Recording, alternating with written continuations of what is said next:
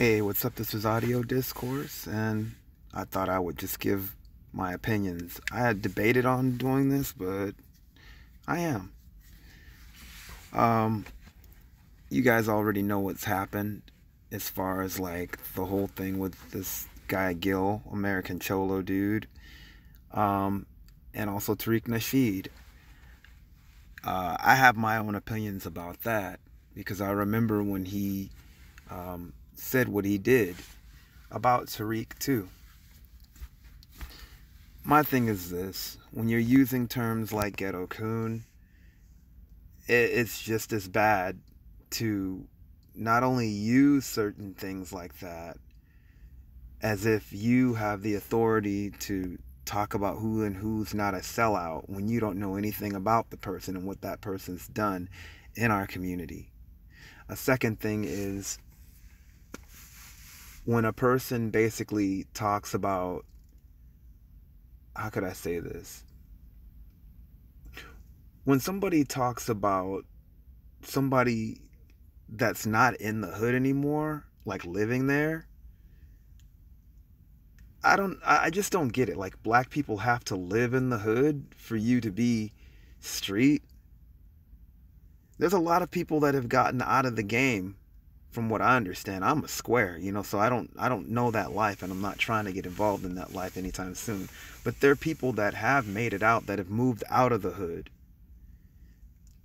I could think of certain people, especially rappers, both black and also Latin. Well, even the term Latin, when you look at it, there are black Latinos, but the ones that I'm speaking of, there's a few that are black and a few that aren't. But not everybody stays in the hood like that. They might come back and contribute. And I've seen this happen with certain people too, and, and it's a good thing. But you know what? A true OG would give that person a blessing just to, to kind of get on with their lives and, and, you know, do the best for themselves. From what I've always seen and known from people in in neighborhoods that I've grown up in. You know, a real OG would applaud that. Like I said, I'm not a gangster. I don't have anything to do with that life. But I do have everything to do with respect when it comes to black Americans. Now, I know Gil always talks about respect with Latinos. Fine.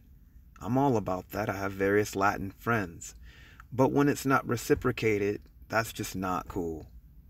The fact that this guy wants to regulate black people to just being in the hood is one thing. Two, using the N word liberally, I don't care what context it was in. It's just not cool.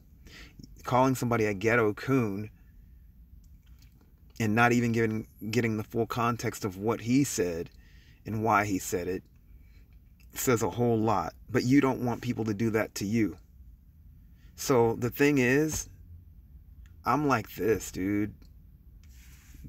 Gil should um, accept Tariq's request to talk to him because what Gil accused everybody else of doing, he actually accused Tariq of doing.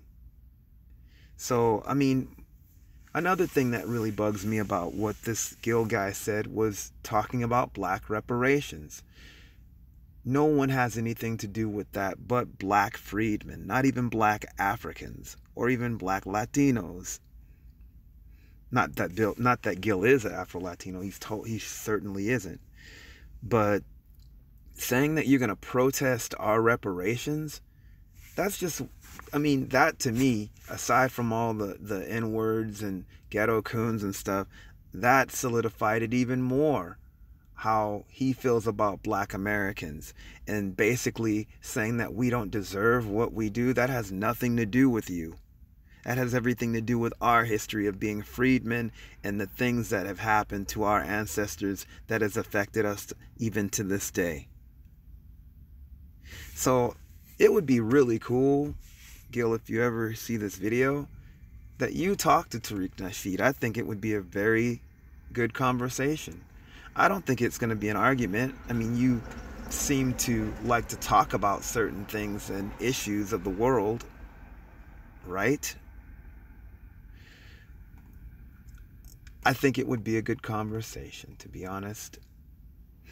And the thing is, I, I, I mean, when a person is called out and they don't want the conversation, that also says a lot. I heard that he denied Tariq's request. So, I mean, do you really want the conversation? That's the thing. Or do you just want to have it on your own terms? Yeah, that's this is I mean, I'm not cool with what he said at all.